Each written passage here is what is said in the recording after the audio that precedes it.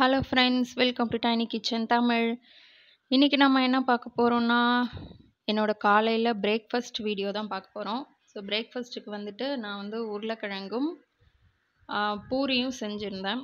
So அதை தான் நம்ம பார்க்க போகிறோம் அதுக்கு வந்துட்டு ஆயில் போட்டுட்டு கடுகு உளுத்தம் பருப்பு போட்டுட்டு கடலப்பருப்பு போட்டிருக்கேன். அதுக்கப்புறமா கொஞ்சம் ரெண்டு மூணு பூண்டு மட்டும் போட்டிருக்கேன். அது கூட வந்துட்டு ஒரு ரெண்டு வெங்காயம் சேர்த்துருக்கேன். இந்த மாதிரி ஸ்லைஸாக கட் பண்ணி அதுக்கப்புறம் உப்பு மஞ்சத்தூள் இது ரெண்டுமே போட்டுட்டு லைட்டாக ஃப்ரை பண்ணிக்கோங்க.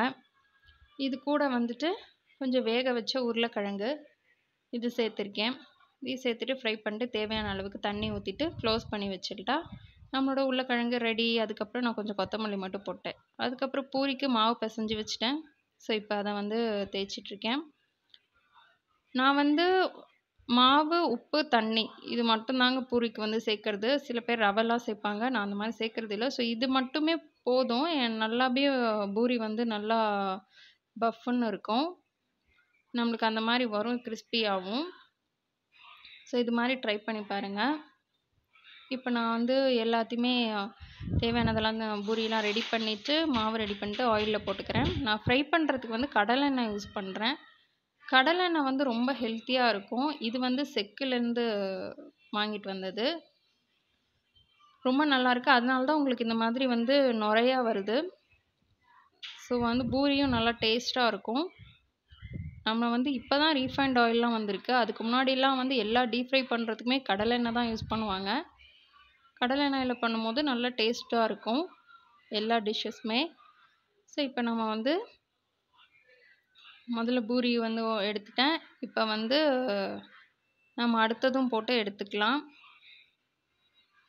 இன்றைக்கி வந்து லீவு சாட்டர்டேங்கிறனால ஸோ அதனால் வந்து இன்றைக்கி பூரி செய்யலாம். காலையில் கொஞ்சம் ந டைம் இருக்கும் அப்படிங்கிறதுனால பூரி செஞ்சுருக்கோம்.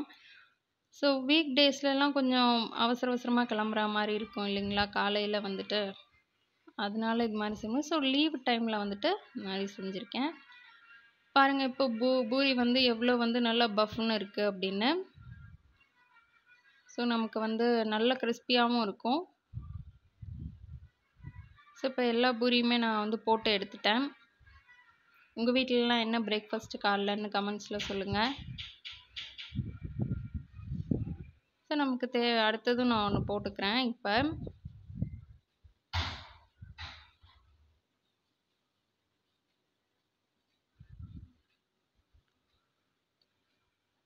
ஓகே இப்போ எல்லாமே போட்டு எடுத்தாச்சு. இப்போ சர்வ் பண்ண வேண்டியதான் ஸோ எங்களுக்கு வாழை இலை கிடைக்கும். அதனால் நாங்கள் வந்து டிஃபன் லஞ்சுக்கு எல்லாத்துக்குமே வாழை இலையில் தான் சாப்பிடுவோம்.